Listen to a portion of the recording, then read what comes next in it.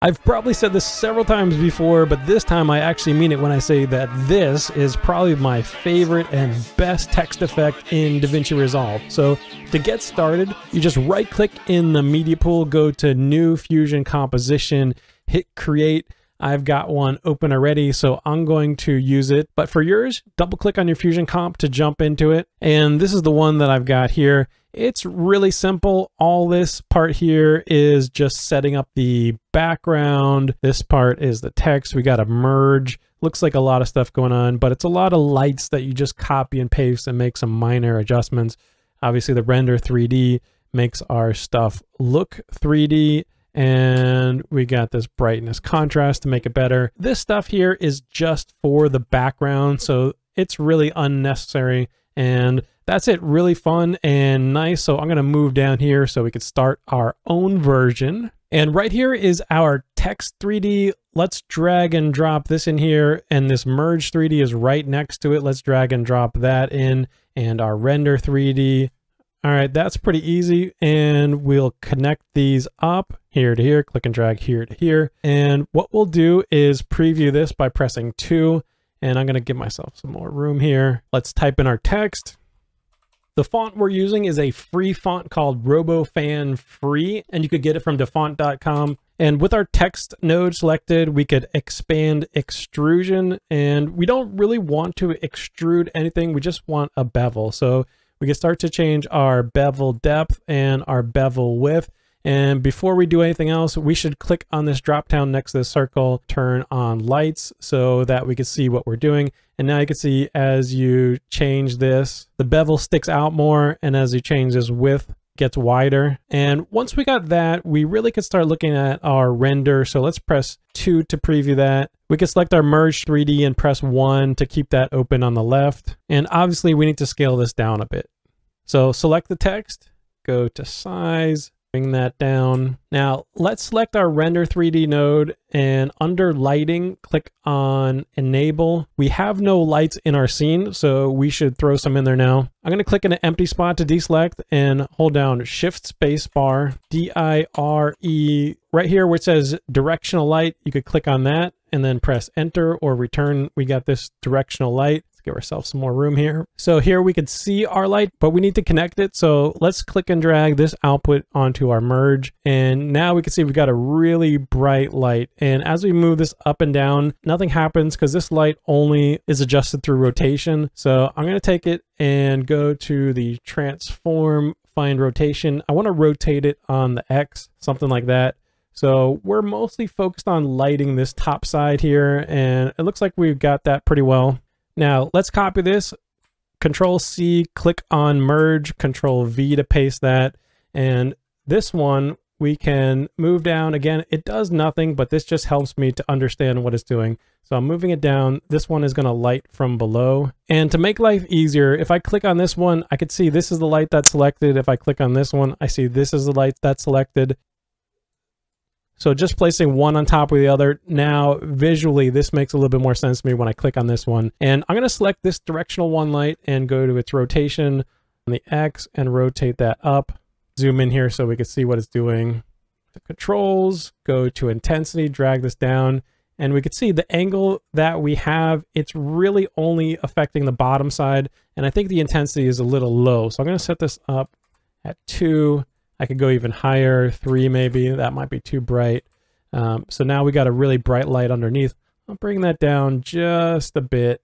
So we've got the light on the top, we've got the light on the bottom, and you know, you could always come back in here and make some adjustments. Let's see if this could use a little bit more. And I kind of like that because I don't want too much light on the front. Well, not yet, because what I'm going to do is, let's actually space these out a little bit. I'm going to select this one, Control C again, click on here, press Control V to paste. And now we're going to have a light that lights up the front only. Move this. That's the light we got selected and go to transform, rotate that.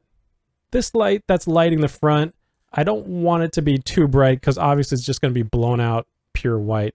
So go to controls, intensity, and bring this down. And now you can see in our render 3D view, it's looking all right. Now what we could do is just separate this up a little bit. What I want to do is set up the background. So I'm going to click a background node and drag it out here. And I'm going to press 1 to preview that on the left. And for this background, we'll click on type. We'll go to gradient. We want our line to start from the top, go to the bottom. So let's make this line vertical. Let's take our X and type 0.5 and 0.5. And then we could set this to one top. And then we could set this one down here to zero. Now let's get the colors that we want. So I start off with a gradient going from blue to white and that's the first half and then black to red to white and then I added some extra details in between I'll just delete them clicking and dragging up lets you delete uh, stuff so I just added those extra stops in there to give me a little bit of extra detail just by clicking in here and clicking this arrow shifting the colors around just a little bit to get the exact color how I wanted it, starting off with these colors, and then they were just a little dull, so I moved stuff around. But let me just undo back to where it was good. Now that we've got that, we've got these little mountain ranges and in our gradient, it's just flat. So as not to get confused, I'm gonna select this node, press F2. This will call background underscore ref for reflection. And I'm gonna make another one by clicking and dragging another background. And with that selected, I'm gonna press F2 to rename it. This one will call background underscore mountain and we'll click and drag one output onto the other output so that we get a merge here. And let's press one to preview that. Okay, so this background, we want it to be on top. Let's select our merge, press Control T so that it is on top. Now what I'm gonna do is select the mountain layer and let's start drawing on it with this B-spline tool here. So I'm gonna click on the B-spline tool. I'm gonna give myself some more room. I'm gonna click right around where the black line is and then click again on this side of the black line. And then click one more time up here and one time up here, one time over here, and then clicking back on the original point to select it. What I'm gonna do is just click and drag to add some more detail in here. I'll move some of these around. And it's not much of a mountain range, so let's add a little bit more detail in here by clicking and adding points. Now we want to go back to our text 3D layer, and in that layer, we want to go to shading it's using one material and we just uncheck that. Now we've got two materials. So we want to add a color to the material.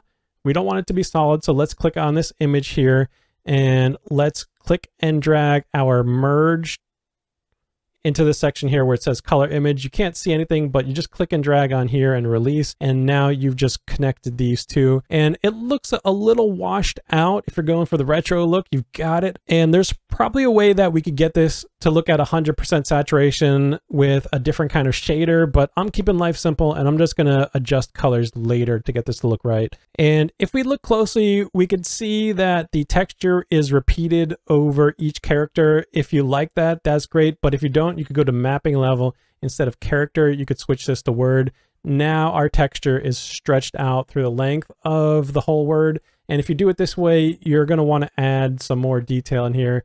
And we could do that by just clicking points, moving them. So this is the B-spline that I made and uh, just want to make sure that there's no little gaps in between our gradient and our black little mountain background. And with our render selected, we could come over here to where this little sun icon, that's our brightness contrast and just click on that and press two to preview that. And let's take the gain up a little bit. Let's take the contrast up a little bit. Let's adjust the saturation. Keeping this as a guide, we could see we're starting to match our colors pretty nicely here. Maybe take the lift a little bit down here to punch those darknesses in. Now, what we can do is if we want a little bit control over the light around the edges, let's just move these over here. I'm going to select our merge 3D and I'm going to press shift space bar and type in light and then find our point light. Click on that, press enter. For the point light, let's just move this so we know we got a different section here. All right, let's click on merge 3D, press one to preview that.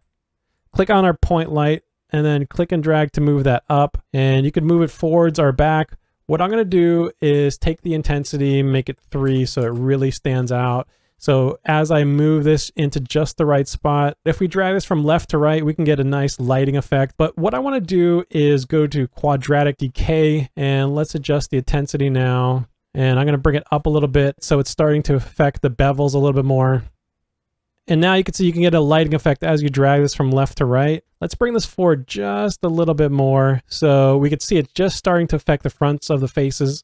All right, now we got a nice lighting effect that we could use. I wouldn't want it all the time because it's blowing things out a little bit, but it's a nice look if you want to have a bit of a glint on here. You just have this start off way on the side here and then you animate it coming across like that. So what I would do would be to have one coming across the top and then we could control C this one, click on our merge again, press control V, paste that. This one I would click and drag it to the bottom. So we have a lighting effect across the bottom. Just bring it forwards enough where it just starts to show on the front of the letters. You could do a thing where one comes across the bottom and the other one comes across the top.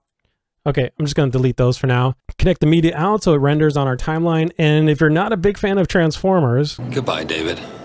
And I hope you find your safe place. Your refuge. Thank you.